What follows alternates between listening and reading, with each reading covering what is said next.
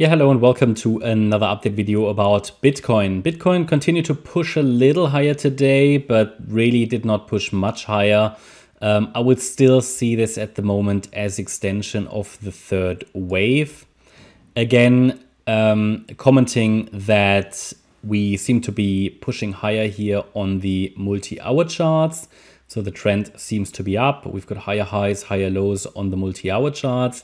That doesn't mean that the trend necessarily on the daily chart has changed.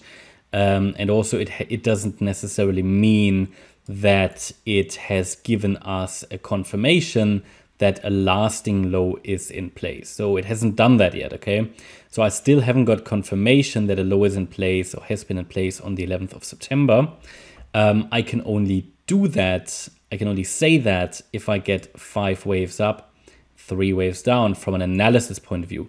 This would be an amazing long trade entry point, but there will be other setups along the way. For example, if we get another pullback in wave four, which has now been, which is likely going to be reset because I still see this at the moment as top of the third. So if we come down in a wave four, this might be a pullback trade opportunity to trade the fifth wave if you like to do that, right? Um, but I can't really indicate support yet because we haven't got a confirmed top in place. If I had to give you support, then I would say support is probably around 26.9k. No, one second. It's 27.6. It's the 61.8 retracement. Okay, so that's um, important. Also, what we might want to do is to add here, let's see, can we just to get an idea here of the channel in which we're moving, sort of an, a diagonal, sort of diagonal channel. Um, it's probably more like it might be a bit of a of an expanding um, expanding wedge pattern forming here. We'll see, but either way, you know the multi-hour trend is up. Any pullbacks could be used for long trades. Mm, again, we only have some clarity that a lasting low is in place. As soon as we have five waves up, three waves down, we can call that a wave one. With a pullback in a wave two, we're basically in a similar situation in which we were already up here, um, where we are just before potentially breaking out, but it the bulls will have to do a lot of work to push through this resistance. So that's between 31 and basically 32k.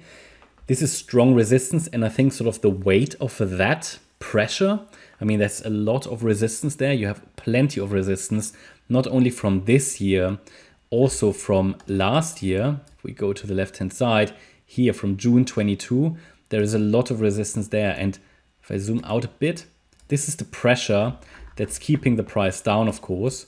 And I think that's also the pressure that's causing here a diagonal to form instead of an impulse. You see that? Okay, that's key resistance. So with diagonals, we have to be a bit flexible. This is still pretty poor quality price action. It's not impulsive. So Elliott wave is not that predictive. Yeah, I always have to highlight that. Shouldn't be a surprise to anybody who's been watching the videos here. We have to change our opinions quickly in these situations. We have to be flexible in diagonals shouldn't be anything new to anyone because Elliott wave is really only predictive in impulses. We haven't seen an impulse in a very long time in crypto, okay? A real impulse. We haven't seen one in a long time. So that means it's primarily a risk management tool, especially when we're dealing with corrections or diagonal patterns. That's very important to understand. So I have no problem to turn bearish um, here short term again if it breaks below that. Uh, what did I tell you? 27.6k level. Yeah, if it breaks below that level, then the reliability of a fourth wave pullback has reduced. Okay, because then it's coming down to deep. So um, that's very important too understand. So we don't want to we don't want to be too fixated on a certain outcome here. We want to be flexible, especially when we deal with diagonals. Certainly, I haven't got anything impulsive here to the upside. Okay, I've got nothing impulsive, and um, also read, read read a couple of comments again you know people asking okay you know what is if we break out directly and that pullback never comes well see that's where strategy comes in I, i've said it many times but obviously i am willing to repeat it because um, a lot of people have understood that and I think it has, has helped a lot of people. So strategy is different from analysis. Okay, so the analysis tells us we probably haven't got an impulse. I'm not saying it couldn't break out more directly to the upside. It, it certainly can. You know, I don't need confirmation, um, or the market doesn't need to confirm that a low is in to be able to break out. It can break out straight away. Absolutely. You know, um, and you also don't need confirmation to make a trade. But I, from an Elliott wave analysis point of view, I have to see five waves up, three waves down to be able to confirm that a low is in. But of course, it can break out earlier. And that's where strategy comes in. Regular accumulation, the bear market has been very long. Regular accumulation, gradual accumulation, put that core position in place. When it then finally breaks out, I mean, I don't know if it does, you know, maybe, probably, if it, you know, if it holds a higher low in the pullback, it should break out. And it can take us to 50, 60, 70K. So when that goes, it goes probably quickly. I've been, say, I've been saying it many times that if it breaks out, then it goes quickly. So I'm rather, if the indications are there, if the indicators are there, I'm rather bullish. And, um, you know, if it breaks, it breaks to the downside. And if it doesn't break out, that's it, you know. Uh, but I'm rather bullish and, um, and, um, you know, risk getting, let's say, stopped out or risk being wrong than missing that third wave rally. I can tell you that. You know, I'd, I'd, rather reset lower if we come down again. So, as I said in the last video, I'm tentatively bullish here now. Uh, the multi-hour charts are long or up, and if it breaks, then it will, or if it breaks to the upside, yeah, then it will go very quickly. Um, and if it breaks down, then we reset lower. Not a problem at all. Yeah, I'm not convinced by the structure yet. I have to say that as well. It's not an impulse, and that's the problem. But you just need to understand that this pullback doesn't need to happen before we break out. We can break out directly. Okay, you know, I've, I've said many times the, the bull market train leaves the station with as few people on board as possible. So just be aware of that. And when we break out, all I will do is to to, to have a trading stop or to um, yeah, just have a trailing stop basically. Okay. And um, because what you don't want to do when we have a third wave rally ongoing, and I think many people haven't have have never ever seen a proper third wave rally in Bitcoin. If that happens, then you don't want to try to trade the micro.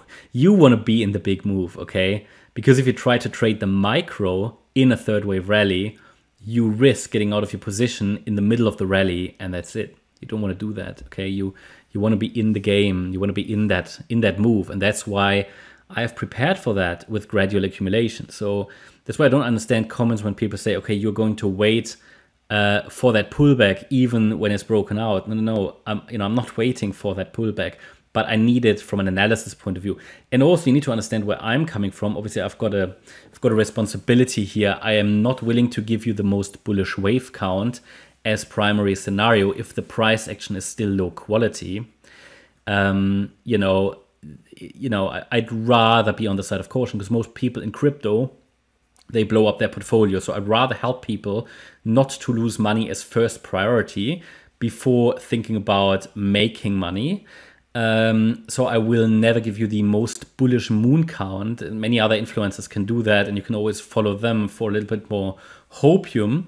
But risk management has to be key. You know, traders make money with risk management and uh, not by aping in and getting stopped out and losing a lot of their um, position. Okay.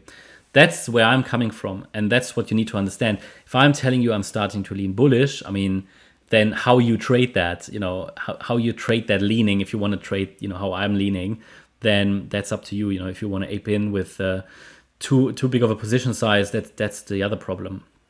But um, I can only give you a key level, which is 27.6K, which I, which I did. And against that level, we can push higher, right? That's the 61.8 retracement of the third wave.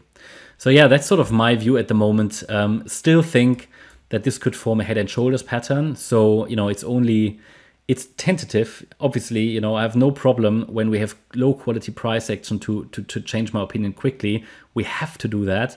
There's no point um, not changing opinion when the market tells us we should do because this is low quality price action. I mean, that's it. That's where we are, you know. And if this forms a head and shoulders, you know, we've talked about that as well. I mean, overall, the idea is or was that we go to 24 to 22k, probably not lower. And so far, the price hasn't done that. But overall, as you know, on the daily time on the daily chart, we're tracking a bullish scenario. We expect price to break out at some point, and we see this move down currently, not as a downtrend that would take us down to new all-time lows, or not all-time lows, but to new bear market lows. No, we only see it as a temporary correction in an overall uptrend. So it can always it can always stop that um, correction a little earlier and, and break out straight away. So you know, obviously, as we get closer to resistance, such a breakout always gets more likely. At the same time, um, it increases the risk of breaking down because on the daily time frame, the RSI is now very, very high. So that doesn't mean we are bearish, absolutely not, because you know overbought uh, RSI is actually quite bullish. Um, in contrast to what many believe, well, what is interesting as well, first of all, we had a breakout here, I made you aware of that, which is which was bullish. We had a breakout here, which was bullish, and also, also um, here, between this high and this high, it broke it broke a bearish, it invalidated a bearish divergence. That was one of the reasons today why I said, okay, I'd rather be focused on the long side uh, instead of the short side because it's giving me enough signals to at least be tentatively bullish um, short term. Okay, it's all about the short term structure and to see it more likely that we might break out actually, um, just because we invalidated a bearish divergence on the daily time frame, which is quite bullish. And to be honest, a bullish or an overbought RSI indicates actually that um, that the trend is quite strong. Okay, so but we'll see if that you know if something like this happens, which was here in June, it could easily break down again. It formed the bearish divergence again, but we invalidated the bearish divergence. That's the difference. So we have to monitor that very closely. Is all I'm saying. Yeah, so hopefully that gives you all the info you need. Exciting weekend. Hope you liked the update. If you did, please hit the like button, leave a comment and subscribe. And if you really like the content, then please check out the channel membership. As a channel member, you get access to the weekly live stream. We've got one tomorrow on Sunday, 5 p.m. UTC. You get access to Discord and Telegram, lots of educational content, and you get access to yeah the chat rooms. And as a gold member, you get access to short-term market updates, which could be very useful if we really get into a very exciting market phase. Uh, I think we're entering it, but we'll see if that's sustainable. Thanks a lot for watching. Bye bye.